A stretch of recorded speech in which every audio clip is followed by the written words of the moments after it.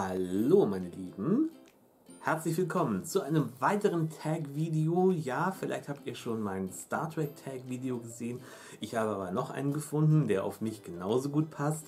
Ähm, und zwar einen Doctor Who Tag. Auch der ist schon ein bisschen älter und äh, ja, falls irgendwelche Whovians unter euch da unter euch da draußen sind, schreibe ich euch die Fragen zu dem Tag auch nochmal in die Kommentare. Also ich nominiere auch hier niemanden, weil ich so nicht weiß, wer von euch sich vielleicht auch dafür interessiert. Aber ja, ich bin gespannt, ähm, was, äh, ja, was da alles auf einen zukommt an Fragen. 14 Stück sind es insgesamt. Und ich würde sagen, fangen wir doch einfach mal an.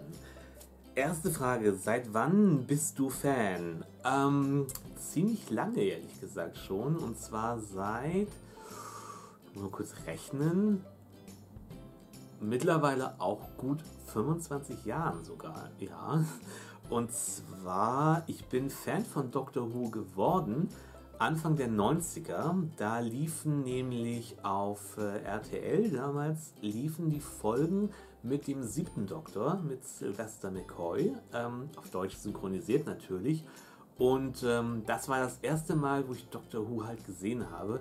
Ähm, und da war ich ja eh schon so auf Science Fiction und habe dann gedacht, so, oh, Science Fiction Serie, ne, guck dir mal an. Und fand das einfach total genial. Und ähm, ich hatte damals von der Schule aus noch einen Brieffreund in, in England drüben und habe denen auch mal geschrieben, so, ähm, ja, kennst du Dr. Who und so. Und der hat mir dann ganz begeistert zurückgeschrieben, so, wow, ja, Dr. Who, klar, jeder hier in, in, in England kennt Dr. Who und so. Und hat mir dann da ordentlich erzählt. Und da habe ich dann erst so gefahren, so, ach so, das läuft auch schon viel, viel länger. Das läuft schon seit den 60er Jahren und es gab schon so viele verschiedene Doktoren und dann habe ich so gedacht, wow, ist, ist ja cool. Ne? Also seitdem bin ich dann quasi ähm, schon Fan. Und ähm, so später in den 90ern ging das dann auch los, dass dann halt so auch der, ähm, der Videomarkt dann auch so ein bisschen offener wurde, halt auch, dass man Sachen aus, aus England dann halt auch kaufen und bestellen konnte. Ähm, und dann hatte ich irgendwann halt auch eine große Sammlung von Doctor Who Videokassetten aus England, mit ganz viel von Classic Doctor Who natürlich. Und ähm, ja, dadurch ist es dann erst richtig zustande gekommen. Und irgendwann habe ich die mal halt alle verkauft um, äh, und das Geld dann quasi investiert in die DVDs. Weil dann fing ja an, äh, alles dann auch auf DVD zu erscheinen, als VHS dann langsam so ausgemustert wurde. Und ähm, ja, jetzt habe ich alles, was an Classic Doctor Who so es noch gibt, ähm, mittlerweile halt auch auf DVD. Ne? Ja, zweite Frage, Classic oder neu? Äh, beides. Also ich mag sowohl die Classic Doctor Who Folgen, ich mag aber auch die neuen Doctor Who Folgen. Ich war mega happy, als sie ähm, das damals angekündigt haben, dass es neues Doctor Who geben wird, ähm, weil es gab ja eine ziemlich große Lücke. Also die letzten offiziell, die letzten Folgen von Classic liefen 1989. Dann gab es 1996 gab es nochmal so einen Kino, so einen TV-Film ähm, und dann kam ja lange Zeit gar nichts. Und dann 2005 war das dann, glaube ich, ja, dass dann so angekündigt wurde, ja, es gibt, es gibt bald wieder Doctor Who. Und da war ich natürlich auch mega happy. Und ja, ich mag die neue Serie auch. Ähm, dritte Frage, Lieblingsdoktor. Ähm, ich muss dazu sagen, ich mag jeden Doktor. Also ich mochte bisher jeden äh, Schauspieler, der diese Rolle inne gehabt hat. Ähm, wenn ich sagen muss, Lieblingsdoktor Classic ähm, müsst, ist es Sylvester McCoy, Doktor Nummer 7. Das war der erste, den ich gesehen habe. Ähm, neue Serie. Ähm, halten sich so, die Waage halten sich so ein bisschen bei mir David Tennant und Matt Smith. Also es gibt bei beiden Sachen, die mir nicht ganz so gefallen, aber ja, die halten sich so ein bisschen die Waage bei der neuen Serie. Vierte Frage, Lieblingscompanion. Ähm, aus Classic definitiv Ace, die Companion vom siebten Doktor. Ähm, einfach super toller Charakter. Ähm, und ansonsten natürlich Sarah Jane Smith, äh, bester Companion ever. Gar keine Frage. Ähm, in der neuen Serie liebster Companion bisher Donna. Donna Noble. Ähm, ich fand sie einfach super klasse. ähm, so ihre ganze Art, ähm, vor allen Dingen, dass sie den Doktor auch manchmal so anflaumt und einfach auch mal so ein bisschen rummeckert, das fand ich einfach sympathisch, weil ich habe auch nichts gegen Rose und Martha Jones, aber die waren dann irgendwann so, ah, der Doktor so an Himmel verliebt und das ging irgendwann so ein bisschen auf die Nerven und, und, und Donna war einfach da so ein bisschen anders und ähm, vor allem, das war ja auch so ein Running Gag, wie sie dann gesagt haben, so, oh nein, nein, nein, wir sind, wir sind kein Paar, wir sind definitiv kein Paar. Und, ähm, und ich mochte Donna einfach total gerne. Und ich fand das auch so herzzerreißend und tragisch irgendwie, dass am Ende ähm, der Doktor ihr quasi die ganzen Erinnerungen nehmen muss, die sie an ihn hat und die ganzen Erlebnisse mit ihm, weil sonst irgendwie ihr Gehirn explodiert wäre. Und sie geht halt in dieses ganz gewöhnliche Leben zurück und ähm, das fand ich einerseits so fies, aber auf der anderen Seite denke ich mir auch so, aber wenn du sowas erlebt hast, wie sollst du dann in dein normales irdisches Leben auch wieder zurückgehen? Ne? Aber also Donna ist definitiv aus der neuen Serie, ähm, ja, mag ich total gerne. Ähm, andere Lieblingscharaktere, äh, River Song aus der neuen Serie, definitiv. Äh, Nochmal zu Companions. Amy und Rory sind natürlich auch total klasse. Ich habe so ein bisschen meine Probleme mit, mit Clara. Aber das haben viele, wie ich weiß. Ähm, und andere Lieblingscharaktere. Ähm, ja, unser Dreierteam da. Madame Bastra, ne, Jenny und Strux ist einfach total klasse. Ähm, das sind so meine anderen Lieblingscharaktere. Aus der Klassik-Serie mochte ich immer total gerne, wenn Brigadier Lethbridge Stewart dabei war. Wunderbar gespielt von Nicholas Courtney, fantastischer Charakter. Ähm, ja, das sind so nebenbei wirklich so meine anderen Lieblingscharaktere. Die sechste Frage ist mega schwierig. Top 3 Episoden. Da kann ich aus Classic echt nicht nur drei auswählen, weil es einfach so viel ist. Ne? Aus der neuen Serie muss ich sagen, ich nehme einfach mal jetzt nur aus der neuen Serie Top 3 Episoden. Blink, die erste Episode mit den, mit den, Reaping, mit den Reaping Angels, weil die einfach so hammer gruselig ist und diese, und diese Engel, diese weinenden Engel einfach so mega creepy sind. Ähm, seit ich die Folge gesehen habe, bin ich auch immer, bin ich auch immer so ein bisschen, habe ich auch immer so ein bisschen Paras, wenn ich an so Statuen vorbeigehe, muss ich gestehen. Aber das war eine der genialsten ähm, Episoden aus der neuen Serie. Ähm, ja, was noch? Ähm, ähm, noch zwei Zweiteiler. Einmal vom neunten Doktor, ähm, The Empty Child und The Doctor Dances. Also dieses Kind mit der Gasmaske, das immer nach seiner Mami ruft. Auch mega gruselig.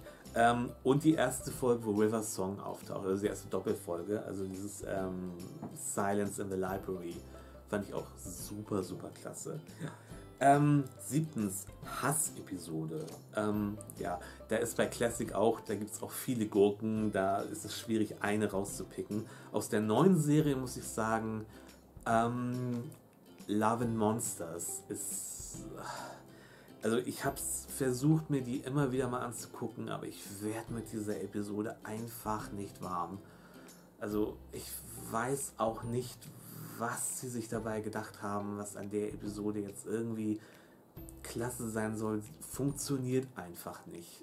Und also, also das wäre aus der neuen Serie bisher meine richtig, richtige Hass-Episode. Ähm, Frage 8. Welchen Begleiter mochtest du am wenigsten? Also welchen Companion? Am wenigsten. Ähm, oh.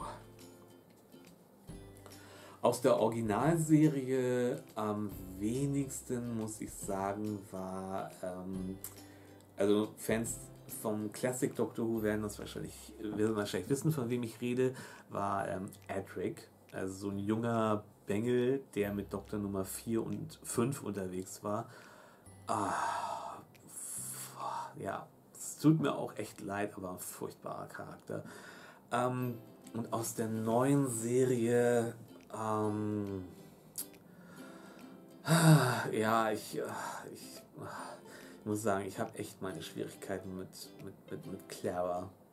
Also, ja, ich, ich, ich weiß es nicht. Irgendwas funktioniert in ihrem Charakter nicht, was mich eigentlich, was mich einfach irgendwie irritiert. Ja. Neunte Frage. Welchen Doktor magst du am wenigsten?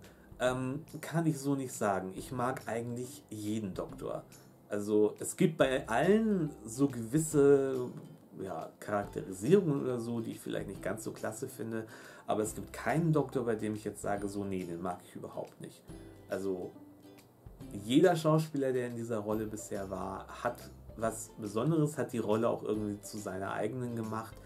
Und deswegen, da gibt es keinen, wo ich jetzt sagen würde, nee, mag ich nicht oder gucke ich überhaupt nicht.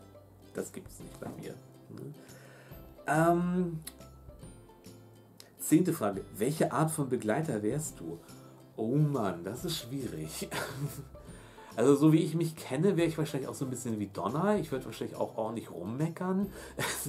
ähm, ich würde den Doktor höchstwahrscheinlich nicht anhimmeln. Obwohl, kommt drauf an, wie er aussieht. Aber, ähm, und ähm, neugierig wie ich auch bin, wäre ich wahrscheinlich auch die Sorte Companion, die alle Nase lang irgendwelche Fragen stellt. Ähm, was ja auch mit die Aufgabe des Companions ist. Der Companion soll ja Fragen stellen, ne, stellvertretend für die Zuschauer, damit der Doktor alles erklären kann. ähm, ja, elfte Frage: Lieblingsmonster. Ähm, ja, mega Klischee, die Daleks natürlich. Äh, die Daleks gehören einfach zu Doctor Who. Aber wie gesagt, halt auch die Weeping Angels, also die, die weinenden Engel, hammer genial, also mega gruselig und creepy und ne, aber es gibt, es gibt so viele Monster da auch wieder. Aber die Daleks und die Weeping Angels sind, ähm, sind schon cool, ja. Ähm, zwölfte Frage: Hassmonster. Ähm, Hassmonster habe ich eigentlich nicht. Ähm, das Einzige, was ich ein bisschen schade finde, ich mochte die Cybermen äh, in der Original, also in der Classic Doctor Who, mochte ich lieber als die Cybermen in der neuen Serie, weil die sind mir, da sind die mir oft, ah, ich weiß nicht, ein bisschen komisch ähm, dargestellt. Also ich, ich, die Cybermen mochte ich in der in Classic Who lieber als im neuen Doctor Who. Aber ein richtiges Hassmonster habe ich jetzt eigentlich nicht. Also, man könnte jetzt nur sagen, so in der in Classic Doctor Who gab es viele Monster, die, ähm, die eigentlich von der Story her gruselig sein sollten, aber im Endeffekt dann doch irgendwie eher albern aussahen. Aber das ist jetzt auch nichts, was man hassen kann. Da kann man sich höchstens dann drüber lustig machen. So, 13. Frage. Gehst du mit dem Doktor, sollte er auftauchen? Hm. Also erstens nur, wenn er mir garantieren kann, dass er mich zum exakt gleichen Zeitpunkt, wenn wir mit dem Ganzen fertig sind, auch wieder absetzt. Hier, ne? was ja auch immer so eine Sache ist. Ähm, würde ich mitgehen? Hey, ich, ich sag mal so, wer würde nicht mitgehen? Ne? Die Chance, Raum und Zeit zu sehen in allen möglichen Facetten. Ne? Ich meine, gut, du musst natürlich darauf gefasst sein, dass du regelmäßig gefangen genommen wirst, dass regelmäßig irgendwelche äh, Kreaturen auf dich schießen werden, ähm, dass du permanent in Gefahr gerätst. Aber ich glaube, was du dadurch alles zu sehen bekommst, das macht das Ganze bestimmt wett. Also würde ich mitgehen? Ich denke schon, ja. Und die letzte Frage, worauf freust du dich am meisten? Aktuell freue ich mich am meisten darauf, Jodie Whittaker als den ersten weiblichen Doktor zu sehen. Ich fand die Ankündigung schon mega genial. Ähm, und scheiß auf all die Leute, die sich darüber ausgekotzt haben. Und ich habe ja die ganzen Kommentare auch im Internet gelesen, so Gender-Wahnsinn und, äh, ne, und liberale dumme Agenda und ich gucke das jetzt nicht mehr. Und ich dachte habe so, wen juckt's? Ne? Ich habe, aber für mich ist es einfach nur so, der erste weibliche Doktor verkörpert für mich unter anderem das, was ich an Doctor Who einfach so liebe. In dieser Serie kann einfach alles passieren. Ne? In dieser Serie kann komplett alles passieren und dann wird der Doktor halt eben mal weiblich. Und wie gesagt, darauf freue ich mich echt sehr. Ich möchte sehen, wie Jodie Whittaker den Doktor spielt. Und ich bin mir sicher, dass es auch zu gewissen Anspielungen kommen wird. Ich bin vor allen Dingen gespannt darauf, wie die Daleks auf den ersten weiblichen Doktor reagieren werden. Das wird bestimmt interessant. Ja, das wird bestimmt interessant. Doch, darauf, darauf freue ich mich. Und das war's auch schon mit dem Doctor Who Tag. Ja, interessante Fragen und äh, wie gesagt, wenn man, ich glaube, wenn man nur das Neue kennt, ist es einfacher, manche Fragen zu beantworten. Wenn man so wie ich halt auch die ganze Classic-Serie kennt, ähm, dann ist es echt schwierig. Also da kannst du schwer Top 3 Episoden oder auch Lieblingsmonster oder Lieblingsbegleiter richtig auswählen. Das ist, weil es einfach so wahnsinnig viel ist. Aber ja, ich hoffe, dass dieses Video auch für euch sehr informativ gewesen ist. Und wie gesagt, falls ihr auch Doctor Who-Fans seid, ähm, ich schreibe euch die ganzen Fragen auch nochmal unten in die Videobeschreibung. Und ähm, ja, wenn ihr euch berufen fühlt, den vielleicht auch nochmal zu machen, den Doctor Who-Tag, dann äh, ja, tut das doch einfach. Und ähm, ja, ich sage vielen lieben Dank fürs Zugucken und wir sehen uns dann im nächsten Video. Bis dahin, meine Lieben, Macht's gut.